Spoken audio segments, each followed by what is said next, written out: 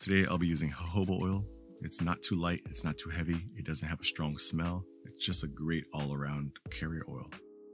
I'm also using tea tree oil, which is a natural antiseptic, peppermint oil, which helps to increase blood flow to the hair follicle, and I'm also using cedarwood oil, which is a natural sebum reducer.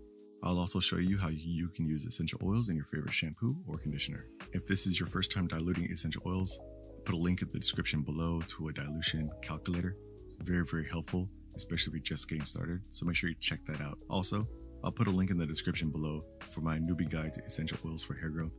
Really easy read. If you remove about 8 milliliters to make room for the essential oils, you'll see that it puts the oil level right at the top of the label. Also, make sure you don't apply essential oils directly to your skin. They are highly concentrated and they will irritate your skin, if not burn you. I usually go with a 2 or 3% dilution, but this is all personal taste. Test it, try it out, experiment, find out what works for you. One oil that you don't see me using in the video is rosemary oil.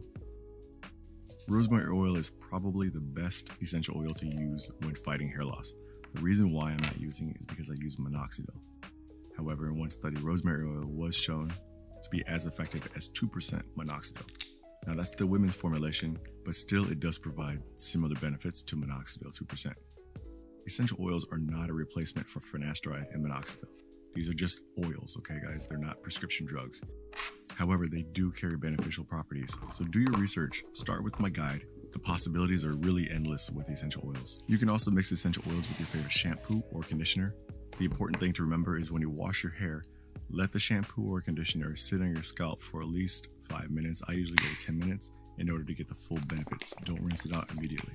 And that's it. If you found this helpful, go ahead and click that subscribe button and give me a thumbs up. Thanks, guys.